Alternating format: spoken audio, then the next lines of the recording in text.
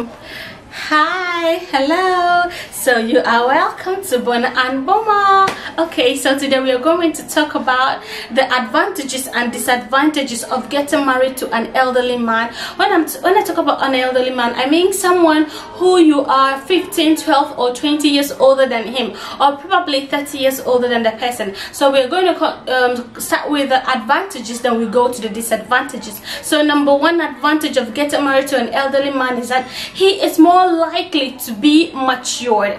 When i talk about maturity i'm talking about mental maturity. The person is able to lead and guide you to make some decisions that will help you in life. We talk about career planning talk about um, financial goals talk about anything you might want to be. The person is more matured enough to lead you and guide you to making those what um, uh, beneficial steps. Number two is that the person is more established when you get married to an elderly person this is not when you're gonna start crying about money start crying about your needs and your wants. The person's already established. What am i trying to say? He's worked enough to gather some money down for you. So you are all ready to go. Like well not always the case but usually mm, um, elderly men are you know they have more money than a younger person. Um, for that matter if you're looking up to get married to a, a man or get married and you might not suffer. You just want things to be well you, might you wouldn't want to build go through that building stage of your of your life with your partner. Getting married to an elderly person is the best option for you. Okay so number three is the person is spiritually matured. As Christians, as we grow older, we tend to um, get closer to the Lord. We we tend to grow, um, you know, stronger with the Lord. Have a very good personal relationship with the person, uh, with the Lord. Well, this is not always the case, but it's it's it's more likely that you will find an elderly man who is what? More closely related to god. And number four is that the person is more responsible. What am i trying to say? An elderly man is more responsible. This is not the time he's he's joking with his life or playing around or being non-serious about his his life. This time this person is more focused you know? He's more experienced in everything that he's doing. So when you get married to such a man it is priority first. He, he he's just going to go straight to whatever thing that he wants to do. He's not uh, you know now trying to let me try this. If it doesn't work let me go here. You know when you start life with your husband this is now the time to be trying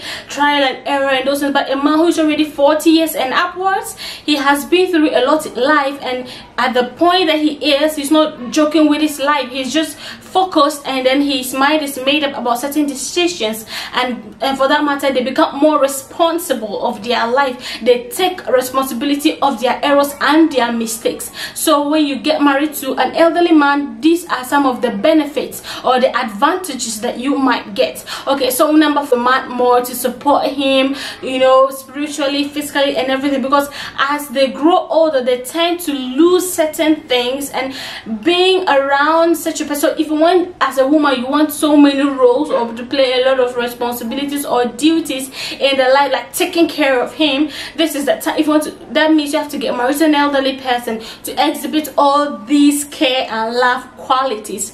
Okay so number six is that it helps in what? Less cheating.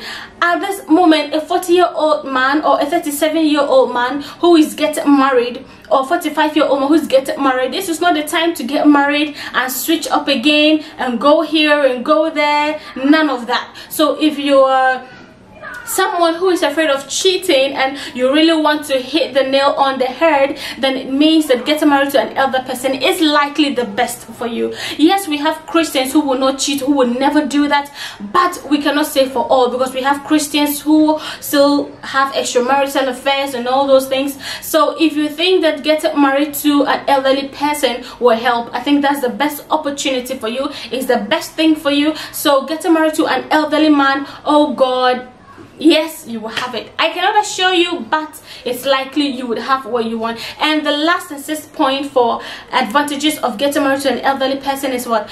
Um, sexual experience uh, is more boosted because of age. Maybe the person had been married before or the person um, yes if the person has been married before and then the person is now getting married to you then it's more likely that he is more experienced sexually and will give you a very great time in bed and you you're going to have a very good time. Okay so let me go quickly to the disadvantages. Let's go.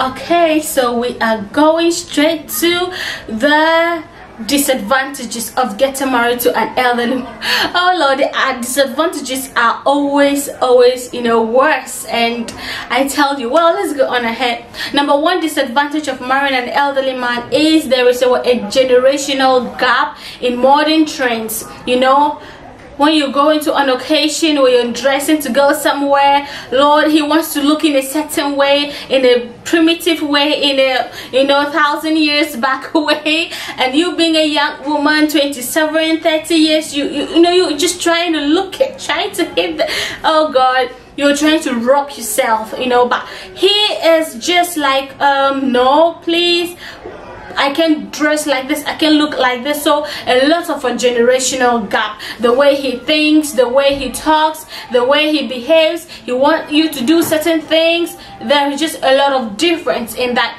And if you're a woman, and if you're a woman, if you are a woman who cannot really concentrate or who cannot really accept these things, then I would I would advise you not to go in for an elderly person because it's oh lord is there's going to be a lot of headache. Okay so number two is that if they have the children or they might be married before and and you know those kind of issues you you you're going to have to deal with it. Because you're going to be a stepmother a stepmother to already grown children. While there's a responsibility that you are giving yourself. So if you're somebody who doesn't like stepmommy stepdaddy issues stepchildren issues you want a fresh marriage from start it's not always the case though. Some do not have children but some do have children. So whatever that you find yourself whichever way that you find yourself in you will have to uh, deal with it. So getting married to somebody who is elderly might the person might have children and that might be a problem in the marriage. You have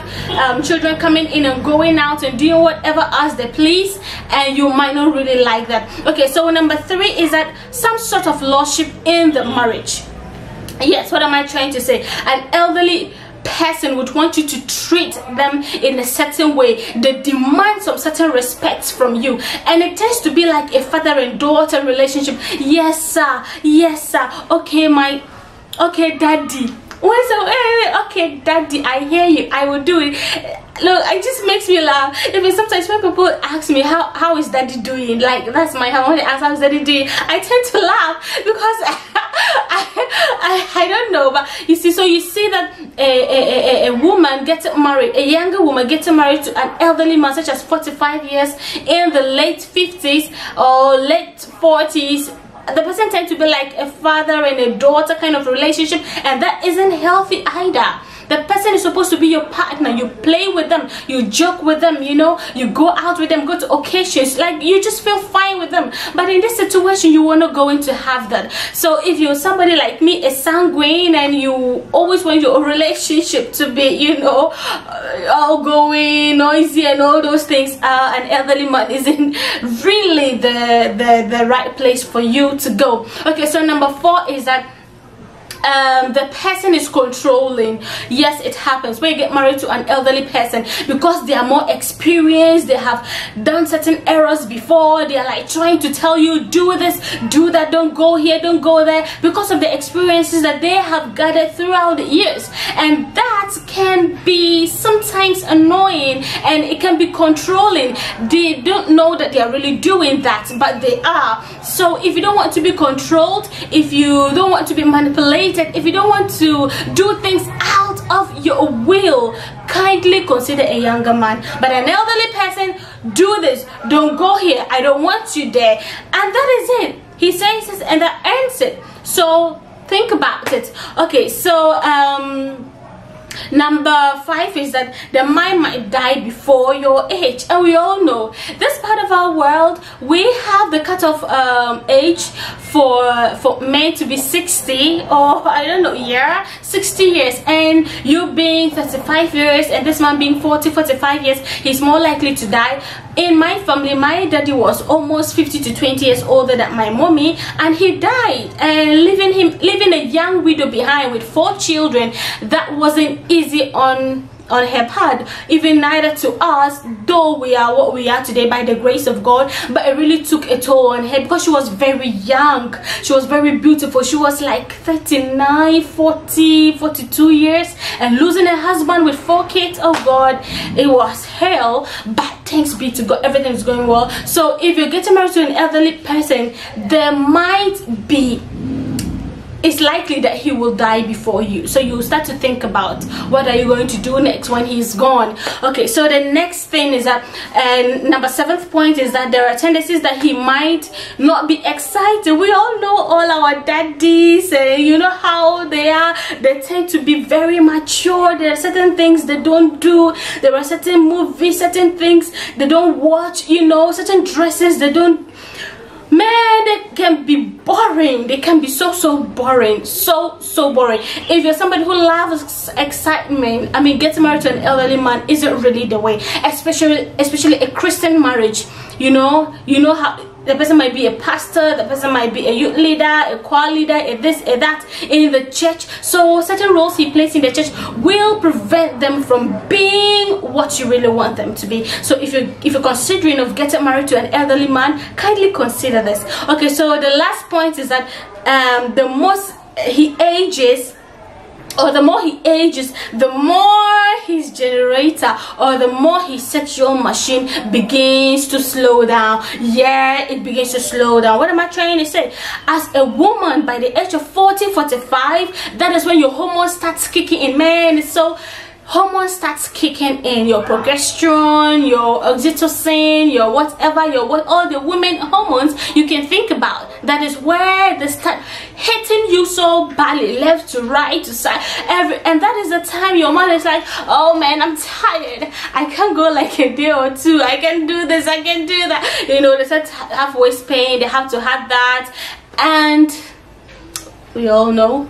Imagine a woman you're in the mood and your man turns you down. You can imagine how that is. So for your information if you really want to keep your elderly man machine going that means you have to uh, invest a lot in exercise in good food in dieting and you know all those kind of good stuff to keep him going. So that is up to you to decide what you want to do. So don't i don't want you to say that i'm a christian i will pray when the time comes. I'm a christian um he, he just came to me to um to get married to me so for that matter i know this is the will of god. I am laying down the advantages and disadvantages for you to decide. These are the real realities of life, whether Christian or not, you are not going to uh, um, not face them. Already as marriage we have a lot of warfare to face and now you go in for an elderly man who is 15 20 years older than you. So these are the advantages and disadvantages